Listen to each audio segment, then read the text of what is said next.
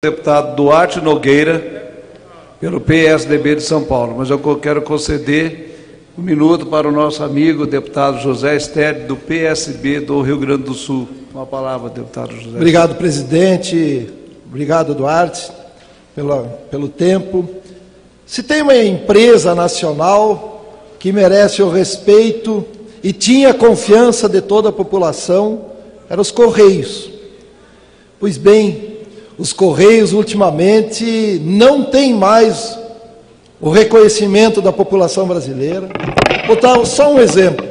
Paola e Diogo são dois músicos de Santa Maria.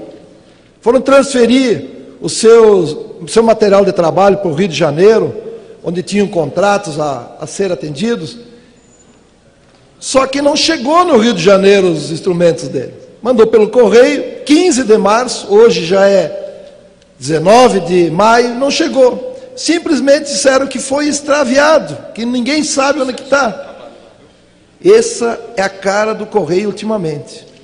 Eu quero fazer a reflexão de por que, que os Correios, por que, que a Petrobras, por que, que o Banco do Brasil, por que outras entidades também estão nessa situação, muitas vezes, perdendo a credibilidade do povo brasileiro.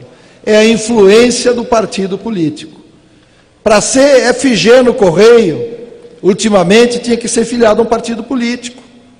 Para ter um cargo de chefia, tinha que ser filiado ao partido tal. Ninguém ouvia mais os técnicos, as pessoas capacitadas dos Correios. Por isso, estou sugerindo ao novo governo, Temer, ao ministro Kassab, que dê autonomia para os Correios, de que cada setor escolha a sua, sua chefia e os trabalhadores do Correio sabem quem são capazes e que isso não dependa de filiação partidária. E não estou condenando um partido ou outro partido, mas é o que está acontecendo. Acontece no Rio Grande do Sul, acontece em todos os estados brasileiros, essa vinculação, utilizar os Correios para benefício partidário. Nós devemos romper isso valorizar essa importante categoria, chamar os concursados, retomar a confiança do povo brasileiro, porque o Correio é uma empresa pública que merece o nosso respeito. Era isso, senhor presidente.